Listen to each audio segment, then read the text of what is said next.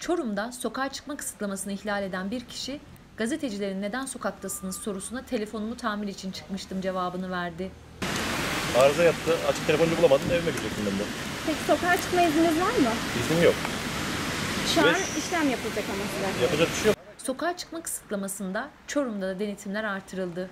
Kısıtlama kapsamında kentin pek çok yerinde oluşturulan denetim noktasında polis ekipleri sürücüler ile yolcuların belgelerini kontrol etti. Kapalı kapalı başlıyor.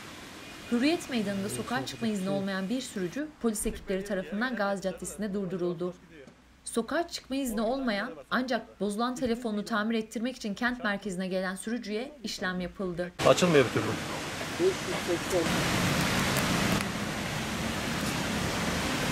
Neden dışarıdasınız?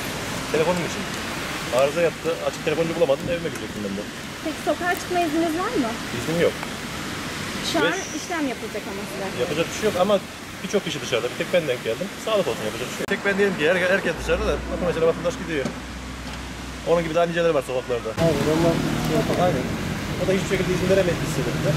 Dışarı çıkmayacağız dediler. Ondan ziyade bir de şeyler var mesela. Bana koca odası var. Orada tanıdık bir vatandaş var. O odasında izin almış. Rahat rahat çalışıyor şu an. Yani siz de kafanızda görüşün olabilir.